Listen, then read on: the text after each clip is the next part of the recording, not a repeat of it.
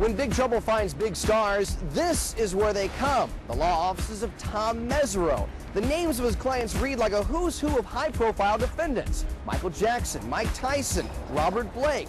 But Mesereau is more than a top Hollywood legal gun, as Jane Velez Mitchell discovered when she found him working for free in Alabama to save a man's life. Thank you, Jesus. Gladys, how does it feel to be a free man? Very good.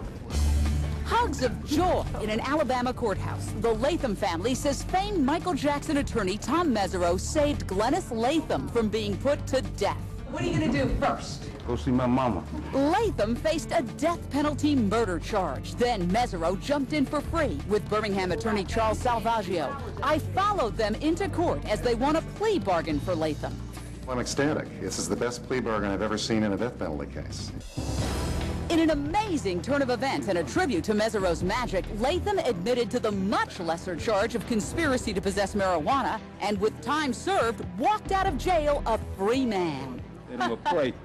You're going to pray. Yeah, thank the Lord. Mesereau says Latham was never even suspected of being the triggerman. Prosecutors charged this local drug kingpin, Charles Tinker, used Latham's auto body shop to plan the murder.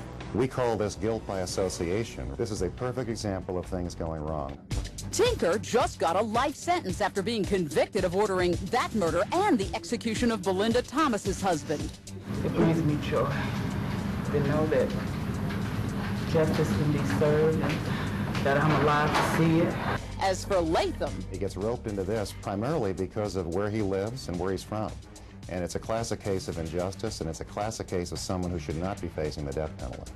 Tom Mesereau has come to the Deep South at least half a dozen times to defend poor citizens facing the death penalty, always working for free, and so far always with successful results. He's probably the greatest legal mind that I know. Perry Mason, In real life. in real life. Salvaggio says Mesereau's passionately against the death penalty. It's a very arbitrary, very cruel, very un-American type of process.